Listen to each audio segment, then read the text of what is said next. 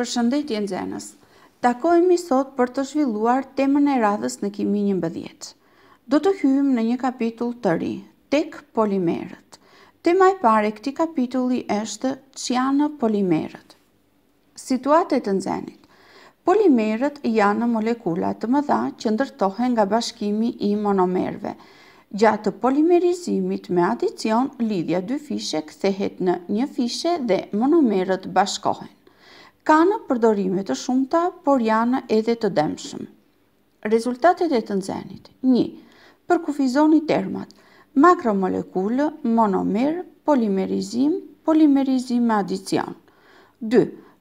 Përmendni disa përdorime të plastikave dhe fibrave si dhe problemet e ndotjes. Tre, Përshkruani procesin e polimerizimit me adicion të etenit. Fjalë kyçe, makromolekula, polimer, plastika, monomer, polimerizim, polimerizim me adicion, biodegradim. Në vitin një mijë e tetëqind e pesëdhjetë u përftua lënda e parë plastike me emrin celuloid, që atëherë dhe deri në ditët e sotme janë sintetizuar shumë materiale të reja me masë molekulare të madhe të quajtura polimer. Polimerët janë makromolekula, nga greqishtja Makro, që do të thotë i përmasave të mëdha, që janë formuar nga molekula të thjeshta me masë molare relativisht të vogël që quhet monomer. Nga greqishtja, mono, një dhe meros do të thotë pjesë. Duke reaguar midis tyre, monomerët formojnë një komponim makromolekular i cili quhet polimer. Njësitë monomeri i referohen një monomeri që është bërë pjesë përbërëse e polimerit. Makromolekula quhen ato molekula që kanë masë molare më të madhe se dhjetë mijë. Polimerët natyrorë Polimerët natyrorë, si për shembull proteinat, acidet nukleike, polisakaridet e të tjera, kanë rëndësi të veçantë për zhvillimin e gjallesave.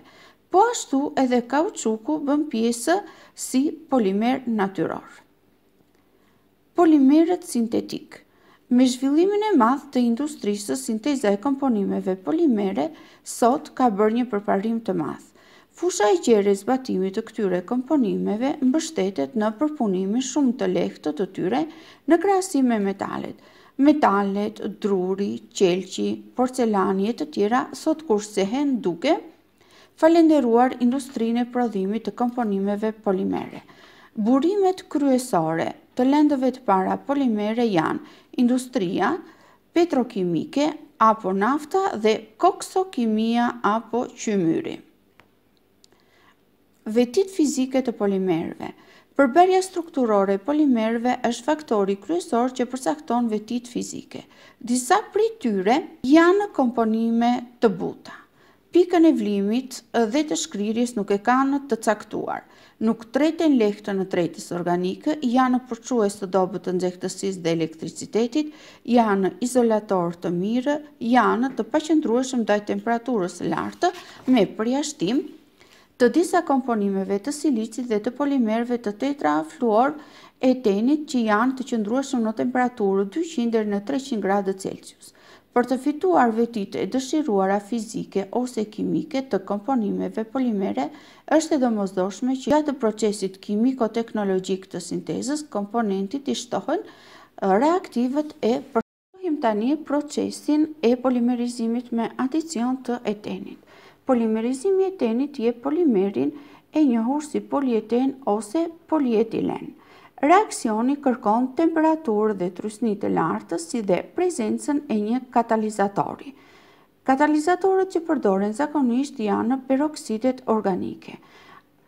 Ato janë komponime që prodhojnë radikale të lira gjatë ngrohjes, të cilat iniciojnë ose fillojnë reaksionin e polimerizimit. Diferenca midis reaksioneve të polimerizimit dhe reaksioneve të tjera të shtimit me alkene është se ai ndodh sipas një mekanizmi të ndryshëm të njohur si mekanizmi i radikaleve të lira, njësoj si zëvendësimi i radikaleve të lira në alkane, Polimerizimi i radikaleve të lira në alkene përfshin formimin e një vargu karbonik. Janë tri etapa që realizojnë këtë proces. Një, Fillimi ose inicimi, dy, Shumimi ose zgjatja e vargut dhe tre, Përfundimi. Një Fillimi ose inicimi i vargut përfshin ndarjen e molekulave të peroksidit në dy radikale të lira. Shumimi ose zgjatja e vargut përbëhet nga zgjatja graduale e vargut, që fillon me lidhjen e radikaleve të lira me molekulat e etenit. Tre Përfundimi i vargut ndodh zakonisht kur dy radikale të alkileve rikombinohen. I gjithë procesi formon një polimer adicionues, polietileni. Detyrë shtëpie. A. Vizatoni strukturën e polipropenit ku të dallohen tri njësinë ndërtimore. B. Vizatoni një strukturë të thjeshtëzuar të polipropenit ku të dallohet një njësi dhe ku të përdoret shkronja N e vogël që tregon shkallën e polimerizimit. Faleminderit!